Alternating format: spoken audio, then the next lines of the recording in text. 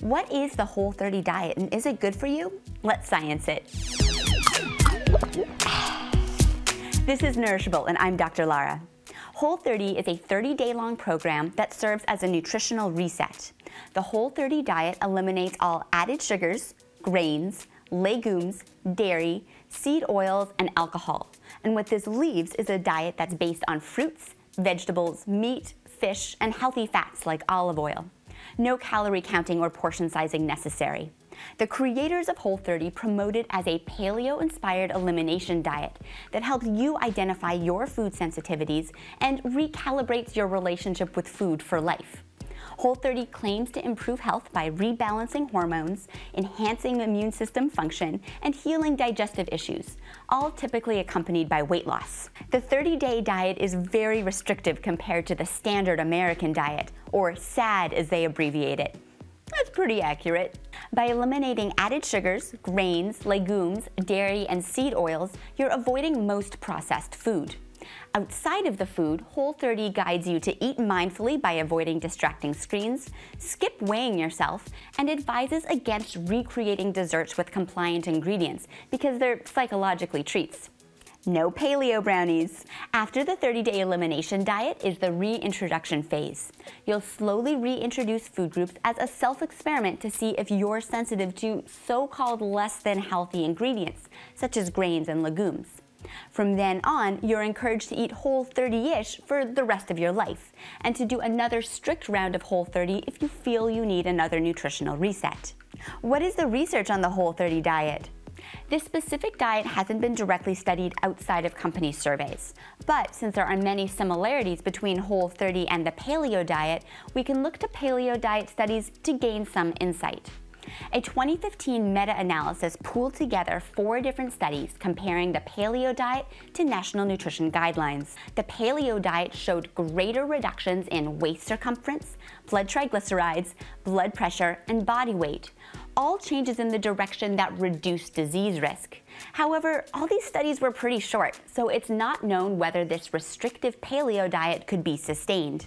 In my nourishable interpretation of Whole30, I found that there were some factors I agreed with, some I disagreed with, and some big questions that can't be addressed without direct research. Here are five factors I agreed with. Eliminating added sugars. Regular consumption of foods high in added sugars displaces other more healthful nutrients and can lead to insulin resistance, contributing towards type 2 diabetes. Eating a variety of fruits and vegetables.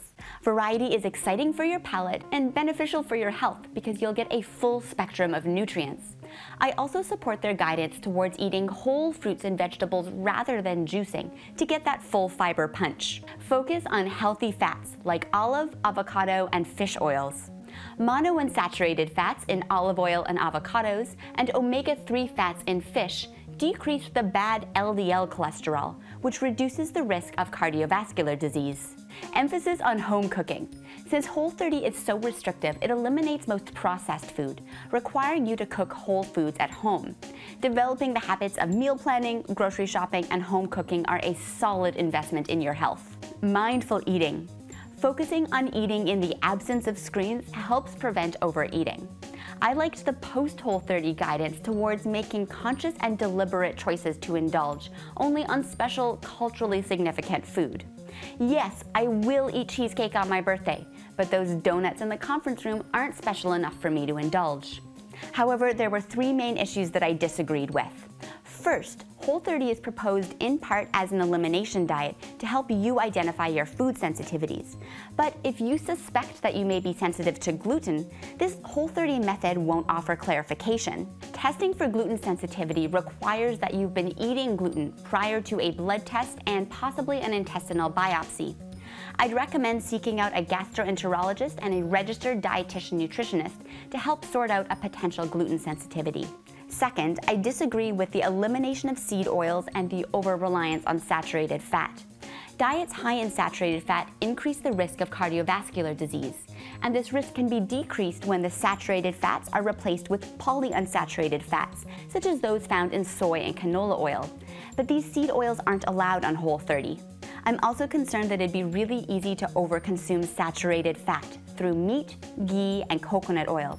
Current dietary guidelines recommend max 10% of daily calories from saturated fat.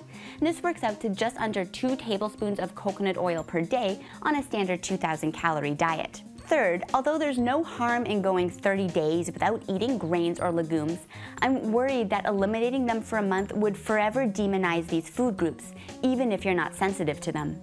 Whole grains and legumes are very healthy for most people and should join fruits and vegetables as the foundation of a healthy diet. And this brings me to my two big questions.